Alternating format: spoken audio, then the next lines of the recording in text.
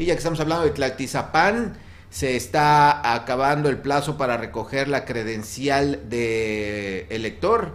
El día de mañana, 10 de abril, vence el plazo. Hoy, hoy, 9 de abril, el Ayuntamiento de Tlantizapán informa a la ciudadanía que tramitó su INE y no la ha recogido, que vaya hoy, hoy al auditorio de ahí de Tlaltizapán, hoy viernes 9 de abril va a estar la unidad móvil del INE para entregar las credenciales a partir de las 8 de la mañana y hasta las 3 de la tarde.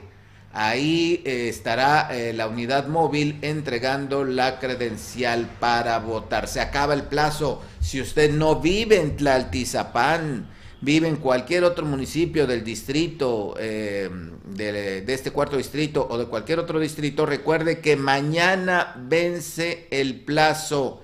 Quienes no hayan tramitado su credencial, eh, pues se van a quedar, más bien que no, quienes no la hayan recogido, no tramitado, evidentemente ya la tramitaron, quien no la haya recogido tiene hasta el día de mañana, aquí en la zona sur se van a eh, abrir los módulos, tres módulos que hay en Sosocotla, en Jojutla y en Temixco para que vayan por su credencial. Última, más bien segunda llamada, segunda llamada, segunda. Mañana se termina el plazo para recoger la credencial para votar y si no la obtiene, pues bueno, se quedará usted sin participar en las elecciones.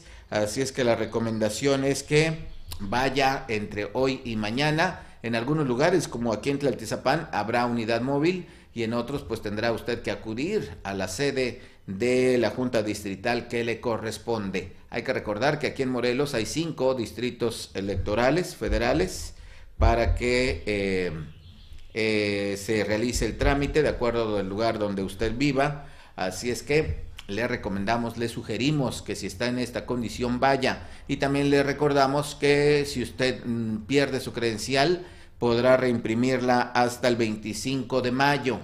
Es como una copia que le dan, oiga, se me perdió mi credencial, a ver, hace una solicitud y le dan algo que le llaman reimpresión. Con esa reimpresión usted podrá votar el próximo 6 de junio, pero le insisto, después del 25 de mayo, cuídela porque ya no podrá obtener ninguna copia, ninguna reimpresión, nada, se quedará sin credencial.